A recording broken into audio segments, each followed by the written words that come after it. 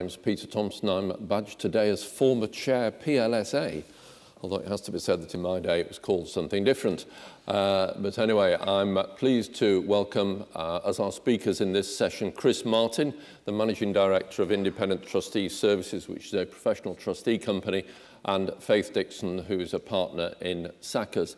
They're going to be talking primarily uh, about the Halcrow case um, and what went on there. And Halcrow, Chris uh, chairs the trustees of the Halcrow scheme, which went through a restructuring, which they will talk about. And Faith was, uh, Sackers were the, uh, the trustees' legal advisors. A lot of you will also be aware that Chris's uh, other claim to fame and uh, TV stardom uh, is his role as chairman of the trustees of the BHS pension scheme, uh, as that is much more public domain than it was when the programme for this conference was put together. Uh, when we get to questions, Chris is happy to take and in poss possibly in some cases even answer uh, questions on the BHS pension scheme. So I think without further ado, I'm going to hand over to Chris and Faith. Thank you very much. Thanks, Peter. Well, good afternoon, everybody. Um, as um, Peter says, um, in this session, Chris and I are going to sort of focus in on one of the aspects that is being looked at in more detail by the Green Paper and the DB Task Force, really focusing in on scheme restructurings for um, schemes in a distressed and stressor environment. Um, and as Peter says, we're going to focus on Halcrow as a, as a case study. Um, laying my cards on the table, I guess I couldn't with confidence say we've got a system that works at the moment if it takes knights on yachts. There were knights on knights in shining armor on horses in my day, but knights on yachts and regulatory dragons and two select committee reports to reach an outcome for a pension scheme. That doesn't seem to me to be efficient. Um, I think Halcrow shows that you can be more efficient within the system, although it's difficult and it doesn't really work perfectly. So anyway, we're going to have a look at what you can and can't learn from Halcrow and what it might um, uh, be useful for in terms of pointers for how you might build in more flexibility sustainability for the future. So um, we're going to talk a bit about how it fits with the pensions landscape more broadly and the current legal background, what we actually did on the Halco restructuring, um, how it sort of feeds into the green paper, discussion uh, and just float some straw man ideas generally as to how the system might change to allow us more flexibility to achieve better outcomes for members. Um, and uh, very useful, I think, this session sort of following on from the last discussion, um, talking very much in the same kind of landscape. Um, and obviously, the DB task force is putting forward the idea of consolidation and super funds as one way of dealing with this. Um, I think we're probably going to discuss some others. Thank you, Faith. Um, and thank you, Peter, for the introduction. Just one small correction, not, not in relation to BHS, but I, I'm not the chair of Halcrow. The chair is actually in the audience, so I've been very careful what I say from now on. So, uh, so I'm just going to spend a, a couple of minutes setting the exam question, which hopefully we'll come back to uh, answer uh, later in this afternoon's discussion.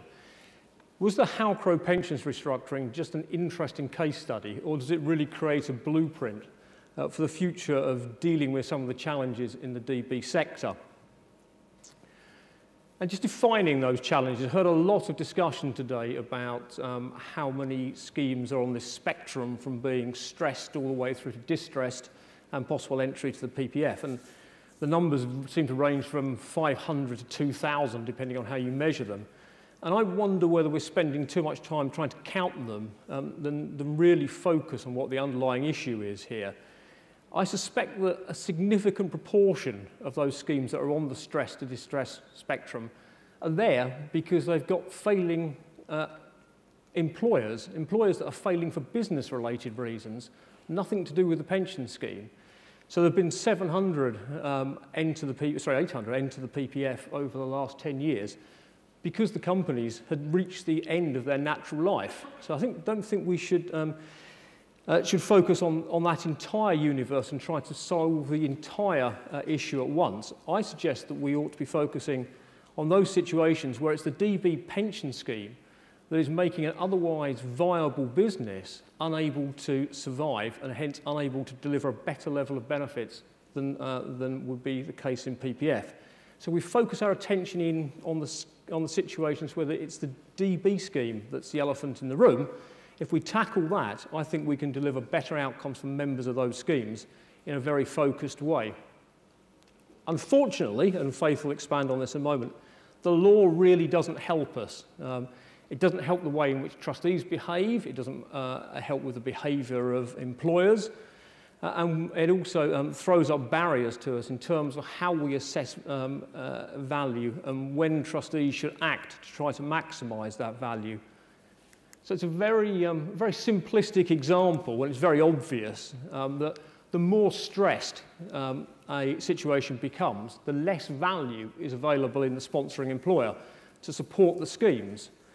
So a smart and brave set of trustees would try and exit that situation and maximise the value at an early stage. But the law, as currently framed, drives us to wait until insolvency is inevitable before we do something about it. And when insolvency is inevitable, we've just destroyed the value that we're trying to protect from members. There's a clear barrier here to delivering better member outcomes. So regulated apportionment arrangements uh, are the, uh, the method of choice at the moment of trying to address that issue. But as I say, the RAA will require um, the uh, sponsoring employer to be inevitably insolvent within 12 months. There is no value left to attribute to members once you get to that point. Alternatively, um, CVAs can be used in restructuring uh, members' benefits and sponsoring employer. But again, it puts the sponsoring employer through a very stressful uh, insolvency process, which destroys value. And it's the value that you then want to, uh, to harness to support the members' benefits. Well, the alternative version, which is the one in the middle, um, which any trustee in the room will come out in, in a cold sweat just thinking about, is a non-statutory compromise. So we as trustees recognise when value is diminishing, and we say, right, we're going to act now. But to do that, we have to give up our Section 75 rights and take a once and for all settlement in the interest of our members. Getting that wrong is something you're going to be answering for for a number of years. Uh, I gave myself the opportunity to talk about the law, but I don't think I will because it's not that interesting. we move on. Um, Okay, so moving on to think more about what flexibility we might look for in the, in the future. Um, we're very used in a DB environment to trying to uh, balance up uh, the assumptions that we're using for funding, um, the investment strategy, looking and balancing with the strength of the employer covenant and trying to reach a kind of balanced outcome that will allow you to proceed with a sustainable scheme which will provide members with benefits at the end of the day. But I think a lot of us in the room will be getting used to seeing situations where playing with those factors isn't actually giving enough flexibility. Uh, so where else can we look? Um, and I suppose uh, I'm struggling to come up with um, any other ideas than what we're left with is benefits. Can we make benefits more flexible? And there's been a lot of discussion already today about, you know, uh, trying to get to being able to get to a position where um, instead of uh, PPF or 100%, we might provide somewhere in the middle, and that's really what we're what we're trying to get at. Um, The Green Paper and, and MPs, I think, are very queasy about the idea of being able to reduce benefits. Um, the Green Paper talks a lot about what it describes as hard promises uh, that have been given to members, and I think um, you know, it's interesting to debate uh, how hard we thought those promises were at the beginning, how they've been communicated to people. Um, from a human rights perspective, which is ultimately what the government would need to look at if it was going to give more flexibility in the legislation, you're really looking at property promises uh, and, and whether you can, whether the government can take property away from people. Um, but I keep coming back to the sort of fundamental question, you know, when does reality enter into this? You know, what does reality matter? Um, are you really reducing somebody's contractual promise or property promise if what you're giving them is more than they would get in the PPF? If you've reached a position where you think uh, it's inevitable that uh, the scheme is going to go into the PPF, then if you could provide PPF plus, surely that's an increase rather than a reduction in their benefits. Um, so, I mean, and in terms of what the hurdles the government needs to get over, um, human rights legislation would stop uh, the state the government um, legislating to deprive people of property. But again, I would argue that we wouldn't be depriving people of property, we may be reducing it, but there's a long way, uh, in my mind, legally between reducing uh, and, and depriving. Um, it worries me slightly that the Green Paper is setting out all the arguments why the government thinks it can't uh, introduce this new flexibility. And, and um, I'd, I'd like as an, in, as an industry um, to uh, try and help them get over that. There you go. Thank you, Faith. So uh, briefly, a canter through the Halcrow uh, case study and where we started from, what we delivered, and then we'll come back, uh, hopefully, some of the learning points from it and, and think about whether they're applicable in other situations. So uh, Halcrow was a long-established um, worldwide, sorry, still is a, a long-established worldwide uh, consulting, uh, engineering consulting practice.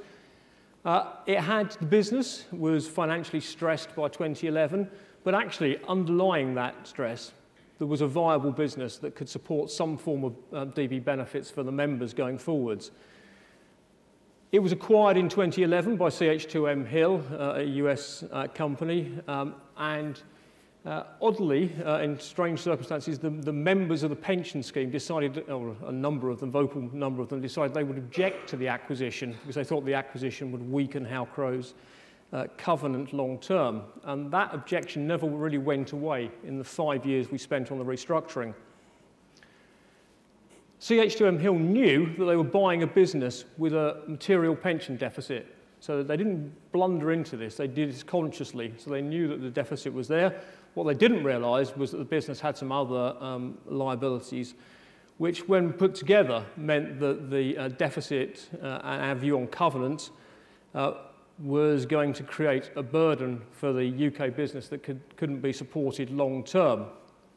And the US were very clear at an early stage that they would not ride into this and, uh, and simply offer a guarantee uh, to support the pension scheme funding. I think on six separate occasions I heard the US uh, CFO say, we will not guarantee this pension scheme. It he said it with a US accent though, rather than the Sorry, I, I, can't, yeah, I can only do it with an Essex accent, but yes, absolutely. But very, very clear and very important point, and they distanced themselves from, the, um, uh, from supporting the scheme. So something changed. Something changed when the deficit got so big that it was actually threatening uh, the solvency of the UK business. The CFO also changed. He left his job um, quite quickly, in fact, overnight, I think. I'm sure he was aware he was going. Um, falling gilt yields was driving the deficit up. Um, and the parent company had to make a choice. So the US parent had to decide whether to continue supporting um, its UK subsidiary, which it had done for five years. It had continued to put sufficient money into the business to allow it to pay all of deficit, repair contributions, to allow it to carry on trading. But they reached a point where they said to us, uh, unless you achieve some benefit relief, which is a, uh, it's an odd concept. Un unusual term, yeah. but um, again uh, works better with a US accent, uh, we will withdraw our support from our subsidiary. So they put it in very stark terms that uh, unless you sort out and reduce members' benefits, then we will walk away from this. Some huge challenges for trustees. We've talked in the earlier session about how challenging this whole process can be for trustees.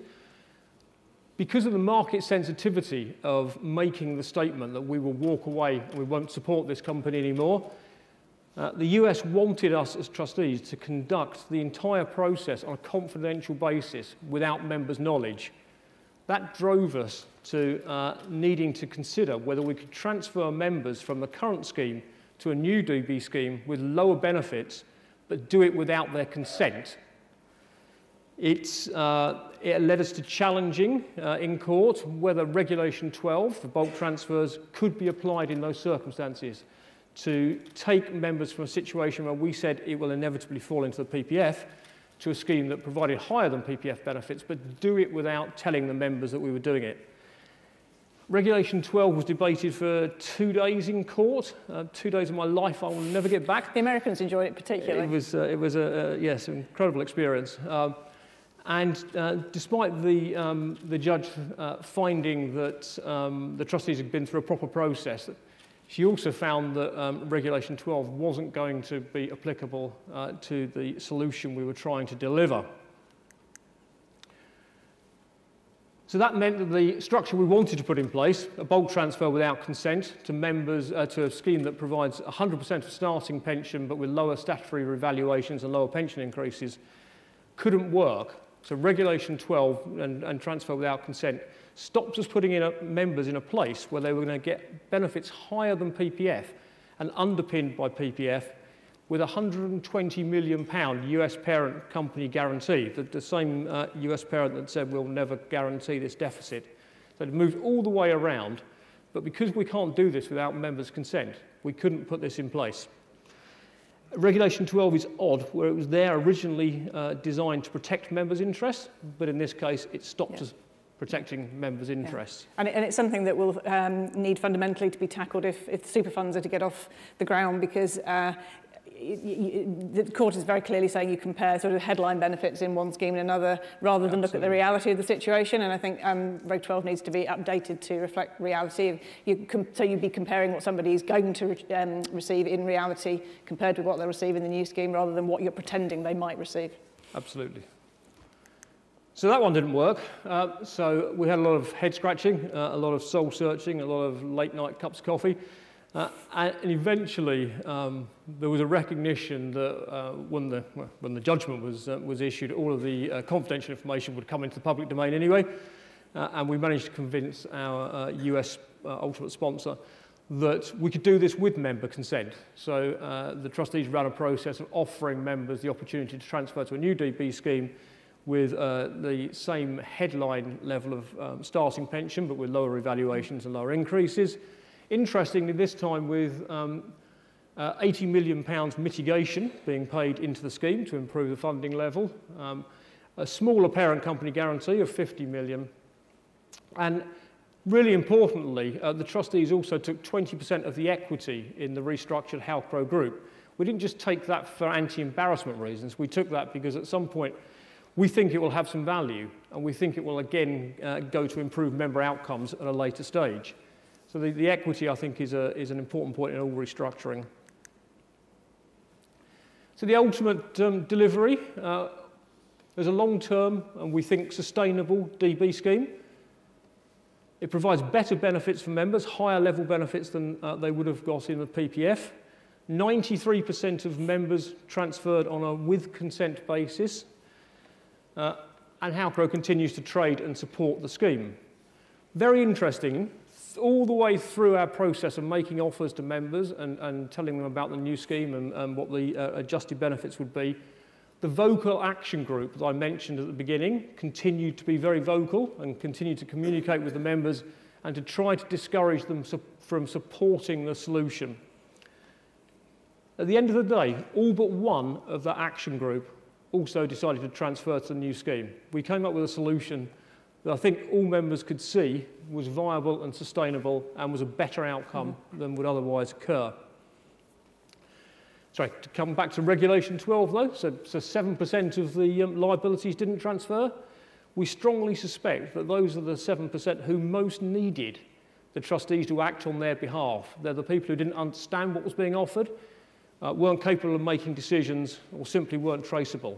But because of the way of Reg, Reg 12 works and we can't transfer without consent, the ones that were most vulnerable got left behind.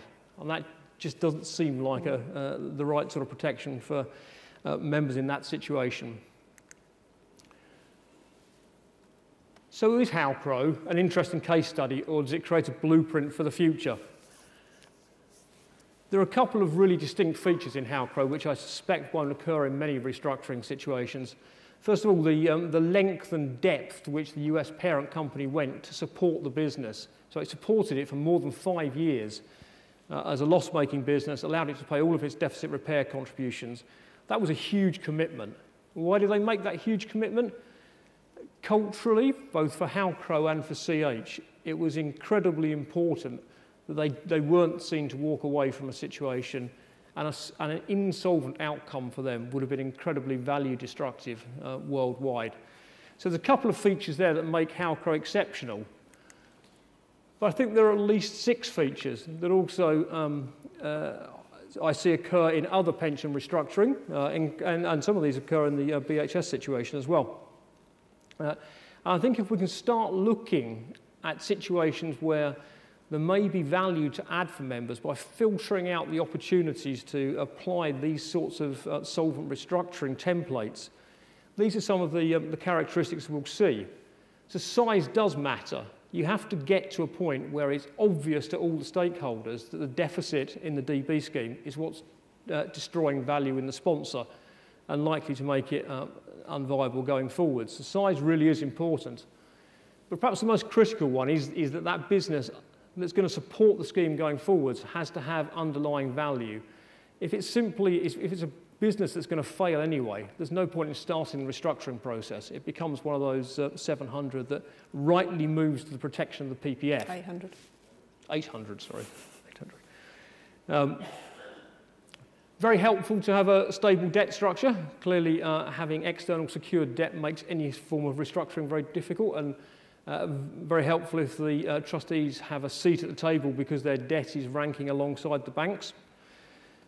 The balance of powers are incredibly important. Uh, trustees obviously uh, sometimes shy away from these, um, but if we have a wind-up power or we have a contribution power, or simply we just understand the culture of the business in a way that allows us to use that for our benefit in terms of, of driving member outcomes, the balance of power between sponsor and trustee is sometimes, um, is sometimes overlooked and taken for granted. Two obvious ones, you need open-minded management and open-minded trustees. Uh, it's getting to that point again where everyone realises there's got to be some, some pain for all stakeholders and that the management can accept that in the same way as the trustees can accept it on behalf of the members. And any solution is going to affect equity, creditors and members together. Again, like any rounded solution, everybody needs to suffer some pain to get the right outcome. Okay. Thank you. Okay, so broadening out from some of those sort of common features that Chris has explained uh, can lead to successful, uh, successful set of circumstances for restructuring to how that might feed into the debate uh, that's been now um, developed by the Green Paper.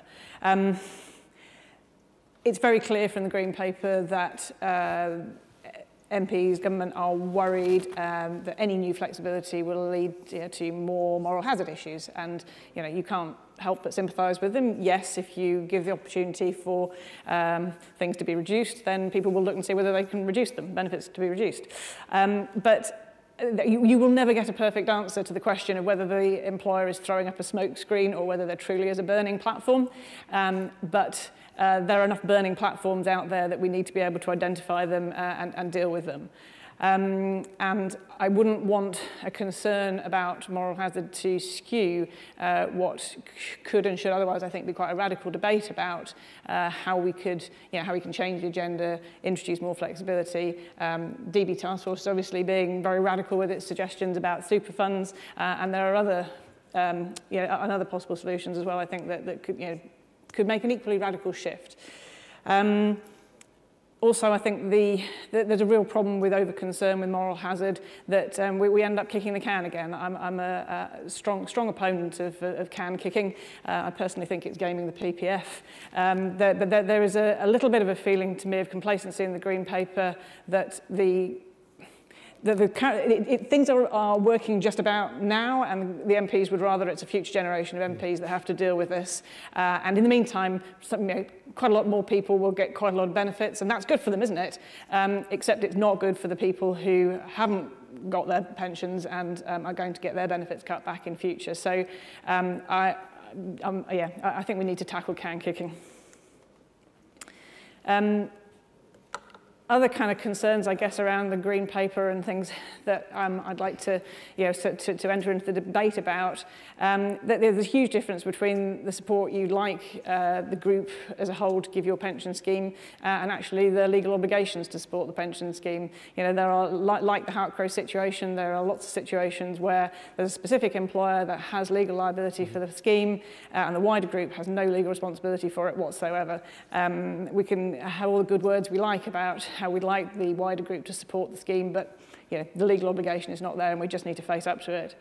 Um, I don't think we'll be thanked if moral hazard concerns stop better member outcomes. Uh, if, you know, uh, going back to the point that's been made in previous sessions and Chris has been making, um, if in fact what you're offering, you're being honest with members and saying we can't provide you with 100p in the pound, we can provide you with 80p in the pound. If you went to the PPF, you'd get 70p in the pound. It, the choice is actually fairly clear to members and, and, uh, and members won't like it, but uh, it, it, it is a better outcome potentially than, than, than otherwise where they'll end up.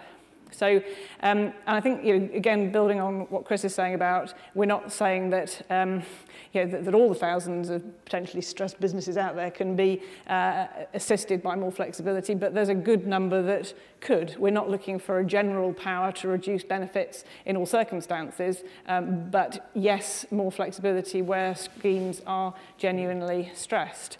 Um, and, and there's a, a lot of concern in the Green Paper about how do we define, you know, what's a distressed scheme? How do we define a distressed employer? Well, you're never going to do it because there's not going to be one size fits all answer. Um, but if we build some flexibility into the system, then we can allow trustees and employers and the regulators and other stakeholders to reach a sensible outcome without having to define everything uh, from, from the beginning.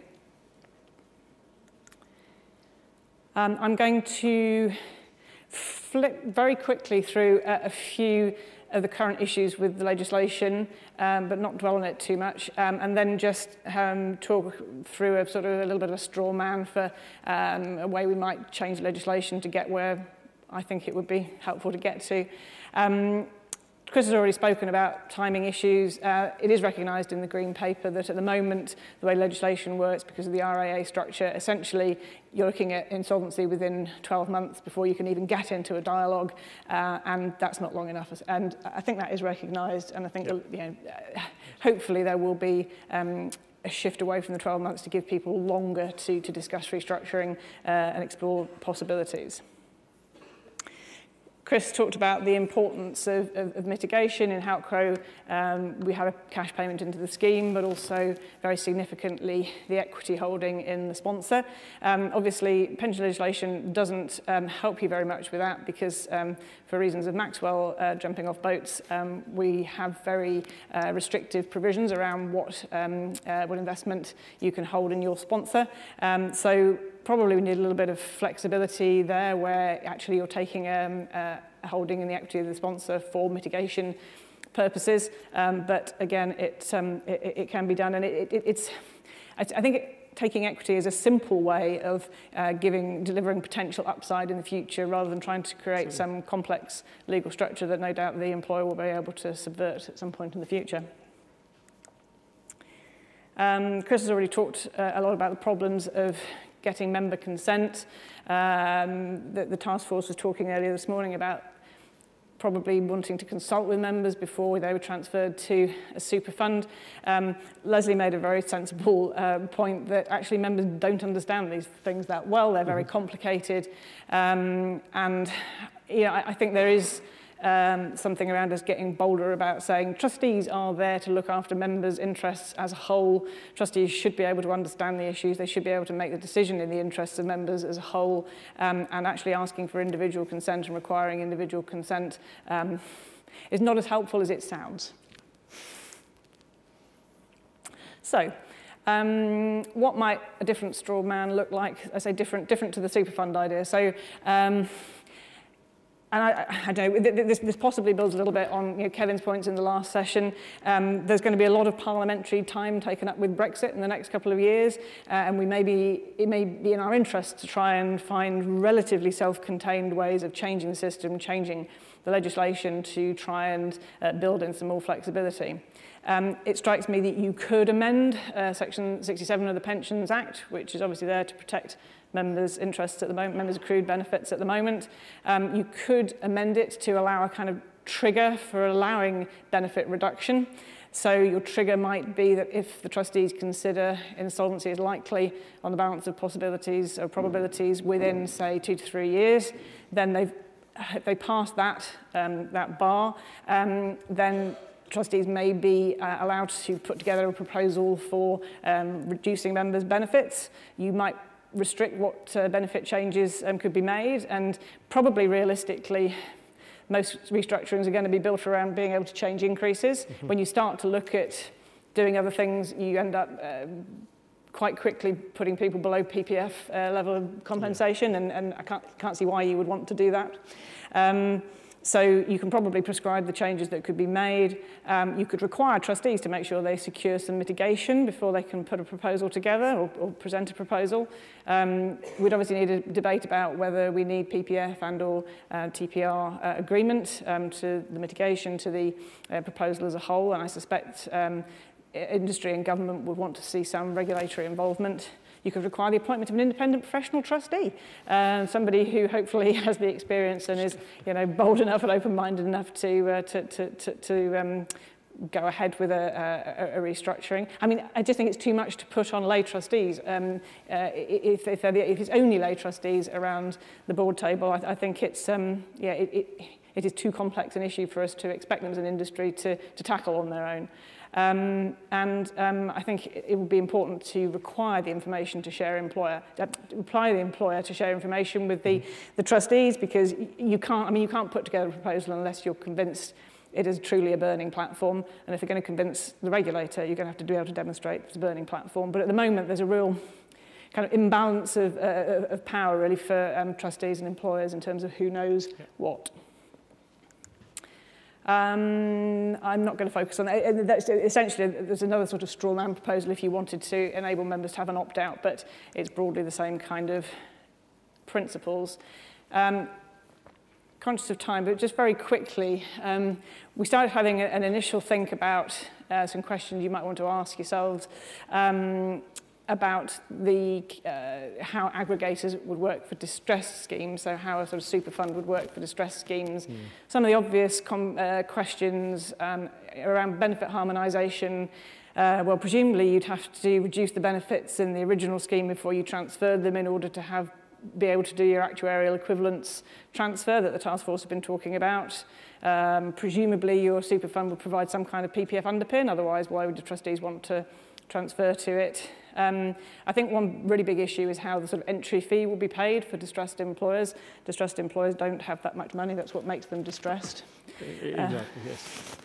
Um, and, and they don't generally have banks wanting to lend to them. And so I, I think it is a, a, a if, real If they have free assets that they can um, yeah. provide security for to, to pay entry fees, then the banks would have been there first. Exactly.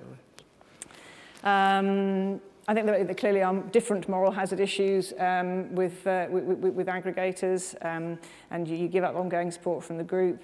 Uh, I think from trustees' perspective, handing everything over to an unsegregated fund, which might look fine when you go in, but if it gets the maths wrong in a few years' time and um, has to wind up, it tips everybody into PPF, mm -hmm. whereas if it had been a segregated master trust, then you might have saved your segregated section. Quite a hard decision for, for, for, uh, for trustees. Uh, and I think there might be confidentiality issues around employers and trustees wanting to share enough, enough information with the, with the aggregator for, uh, for, for, for the deal to be done. Um, so I think, I think you know, aggregators are, are certainly an interesting, um, you know, an interesting additional um, option uh, mm. to, to be considered, but there are definitely some, um, uh, some tricky questions to be asked along the way.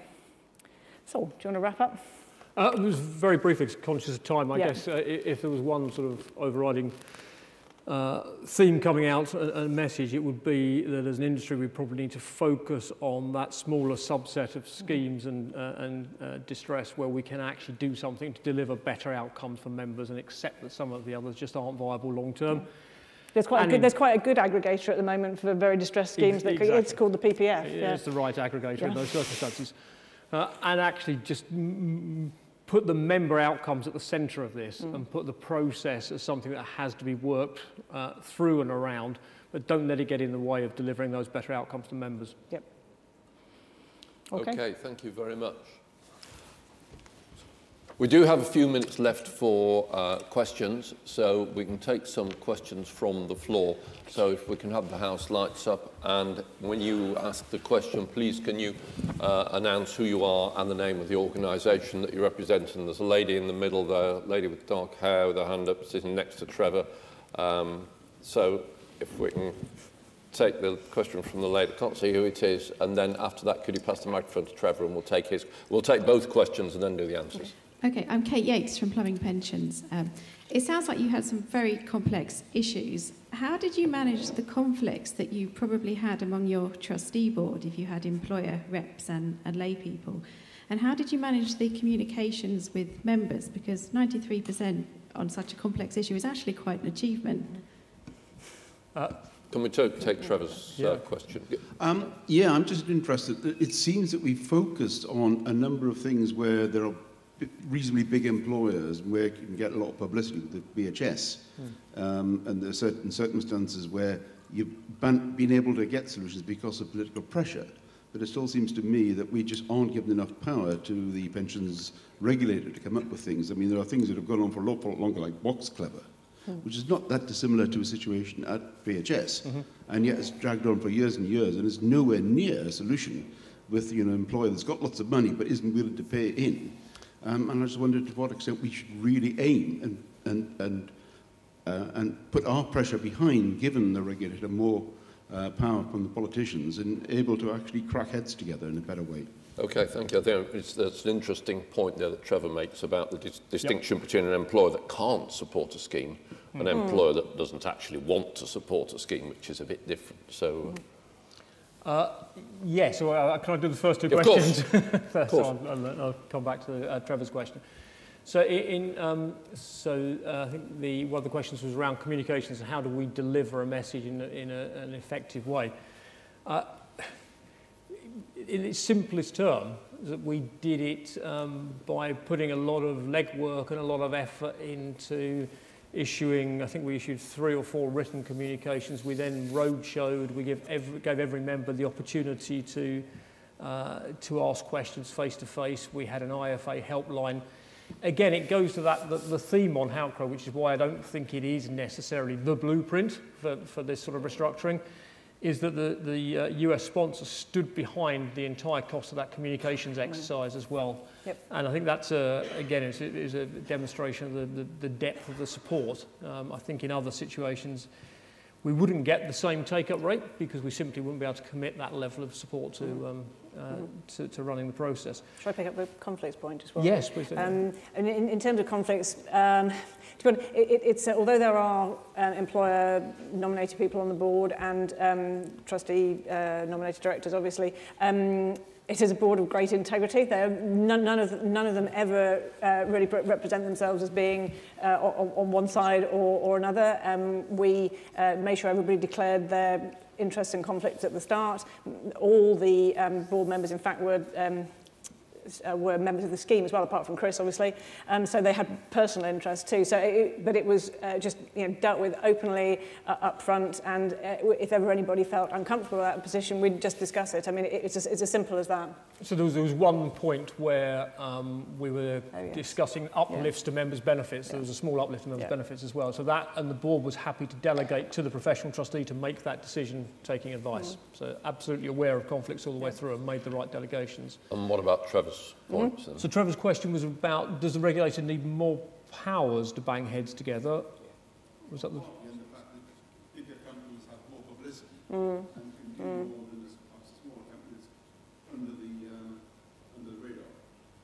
Yeah, and I guess that, uh, that also goes to the resourcing point mm. as well and where the regulator can get most bang for its buck in mm. terms of applying its pressure. Generally, those larger companies are going to be sponsoring larger, larger schemes with more members. Uh, in terms of whether, so personally, I think the regulator has enough tools in the toolbox to, um, to make it work um, and to bang heads together. Uh, the profile definitely helps if you're trying to find a solution, but it, it does cut both ways, actually, having been involved in a, a number of restructurings. Uh, a high profile case brings a natural nervousness as well. So it isn't just, it doesn't necessarily beneficial if you're a big company with a big name. It actually makes some of the decision making harder because some of the, uh, you tend to be tested slightly, uh, slightly further by the regulator. And I suppose, I suppose some of the arguments we're making about building more flexibility in would probably allow, would empower trustees a bit more to do things. And um, actually, an interesting point that the select committee made was that in certain circumstances, if trustees have gone through a certain procedure, uh, the regulator should almost kind of start from the point that it presumes it will do what the, you know, it will, it will follow the, the trustees' yeah. uh, decision, um, subject obviously to checking that it had gone through the right procedure and being satisfied itself, I suppose, that there weren't other regulatory powers it could use. But I think that sort of um, um, building in the possibility of a kind of presumption that the trustees have made the right decision would actually be useful. Yeah, rather than at the moment you sort of start from, uh, well, okay, I'll consider it again and see yeah. if the trustees got it right or yeah. not. So yeah. that, that adds a lot of delay into the process. Okay, we are nearly out of time. Yeah. There seems to be a question over there. It looks like Clive Gilchrist from Best Trustees to me. yes. Um, just really following up on, on that point, but the checklist of, of, of things that you listed earlier, I mean, what you achieved there was a fantastic one-off solution, but it was a one-off solution. To, to generalize it, I think requires at least some and perhaps all of the things on your checklist. Where are you going to get the political motivation to enact that? Because it all seems terribly sensible. And the RAAs, I mean, I did, as Clive knows very mm. well, I did an RAA in 2013. They're incredibly complicated. Oh, they are. They're all one-off solutions. That, Complicated and they're expensive. Complicated and Yeah. seriously expensive. I mean, Yeah. hundreds of thousands of pounds in fees. Mm. Which is, eh, which is why I think we come back to this, uh, as an industry, we need to be looking at those cases where we can act and make a difference mm. and targeting those cases and, and just accepting, to Faith's point, that the PPF is perhaps the appropriate aggregator in Yeah. other situations. Yeah.